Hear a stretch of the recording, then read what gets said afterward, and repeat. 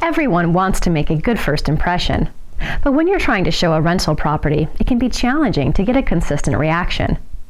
By utilizing what you wear to work, you'll be able to not only create a lasting impression, but dress your way to success.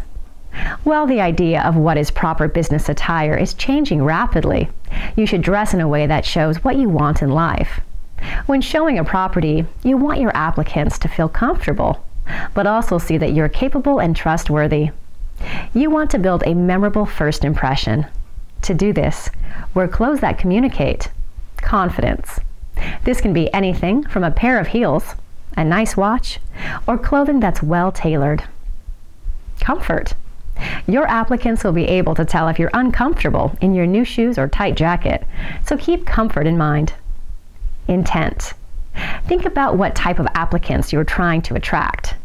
Would what you're wearing make them feel comfortable? Do you feel like you look successful or confident? An additional way to stay memorable is to develop your personal brand through your clothes. In the long run, personal branding can help distinguish yourself with your applicants and while networking. Over time, your peers will even associate who you are with the item of clothing.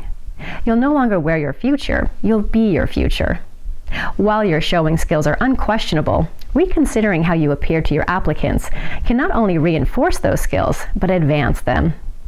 By physically wearing what you want professionally, you can psychologically take on those traits. You become what you wear.